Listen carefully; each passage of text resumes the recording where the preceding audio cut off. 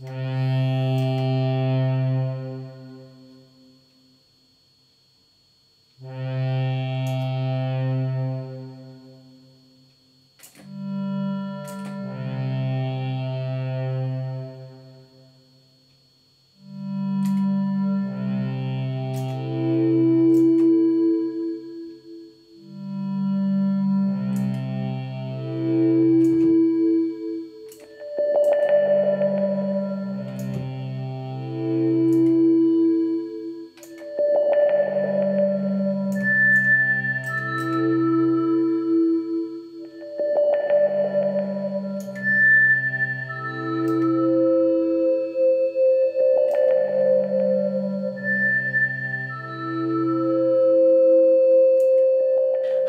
is Maxime. I will show you how you can do that with your own Helix.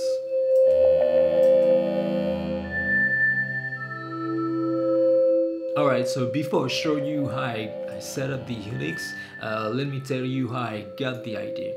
I was reading an article about Brian Eno and his work uh, on ambient music, specifically his work on albums such as discreet music and music for airports. And in that article, they were describing his uh, his own process and where he was using tone generators and some tape delays to make it uh, uh like a looper.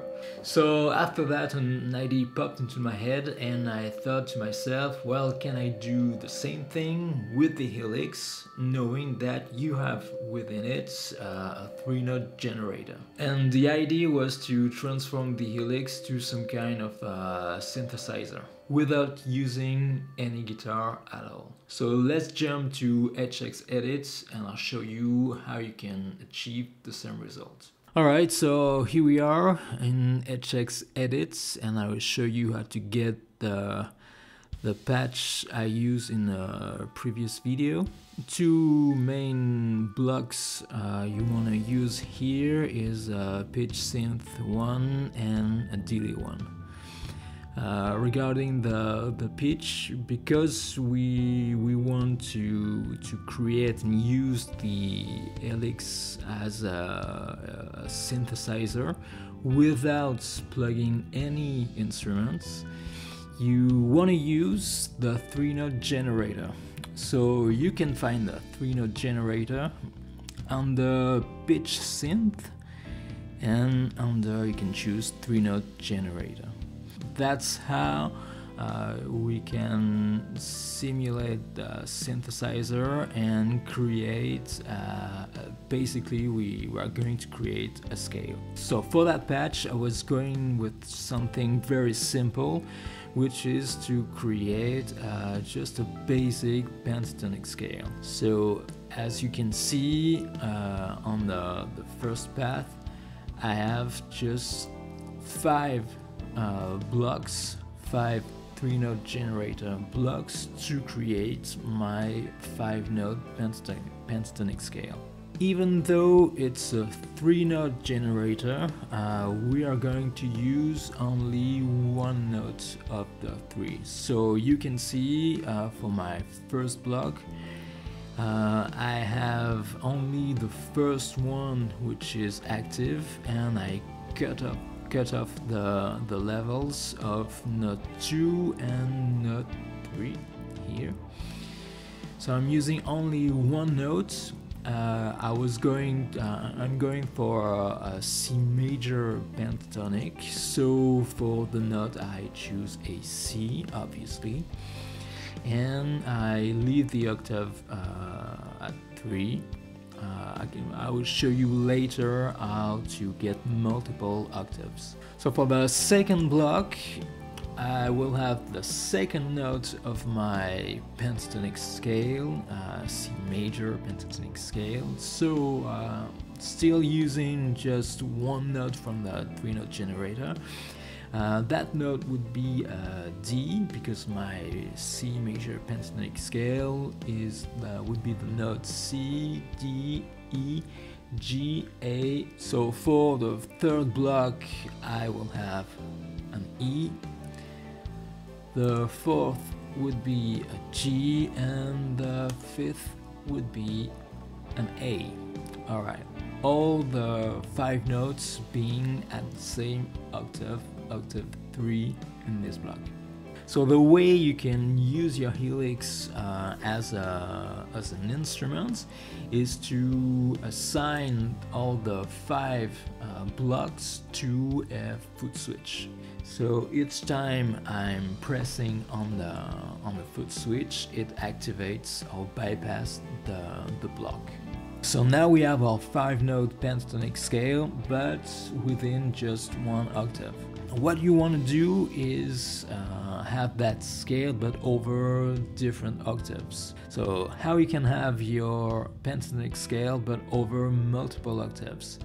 That's where the snapshots are coming to play because you will use the snapshots function of the helix to get that um, multiple octave scale. So as you can see, I have snapshot 1 to set up to octave 3. So make sure you enable the snapshot function for the, the control of the, of the octave within the 3 note generator block. So once that is enabled, you can change snapshots and change the octave of your notes. And you can do that multiple times so you will have a, um, a scale within several octaves. Obviously, you can choose to change different parameters, so it's up to you, be creative with it. So with this snapshot setup, you can change uh, using the, um, the up and down arrows switch on your helix to change the octaves of your scale. Alright, so second most important block you want to use is the delay block. So it's with that delay block that you will have the repetition, the looper effect. So back in the day, Brian Eno was using two tape recorders to get his looping effect. But nowadays we can use something else and within the, the Helix you can use any delay you want. Uh, the main thing you want to, to have is uh, a long enough delay time to get the repetitions. So for this patch I was using the vintage digital delay one you want to have is a delay block with enough delay time because you want to have a delay between like 4 of or 6 or 7 seconds. So I set the time to 6 seconds. The feedback is nearly 100%, so it's up to you uh, if you want longer repetitions or less repetitions. And that's basically it. Um, the 3 note generator and the delay.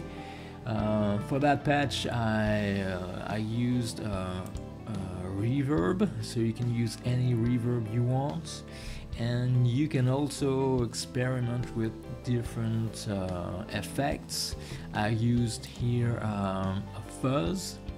I used also uh, that that block ubiquitous vibe, and I used the seeker filter, just in order to, to to get some variations and some different timbre so you can experiment with that uh, use any block any effect you want but basically you want to have that the three note generator and the delay. Uh, for that case I uh, did a, a, pentatonic scale but obviously you can do uh, seven note scale or six note scale whatever you want. If you like this video please consider subscribing to the channel. Uh, granted that it's a French channel my most uh, videos on it are in French but I think I'll do probably more videos in English as well you can also follow me on Instagram where I post videos of me playing the guitar and I also post mm, guitar licks and all that good stuff. and if you happen to create some videos using the technique I'll show you in this video please let me know. You can tag me on Instagram and uh, I'd be happy to see what you did with it. Thanks again for watching and I see you another time merci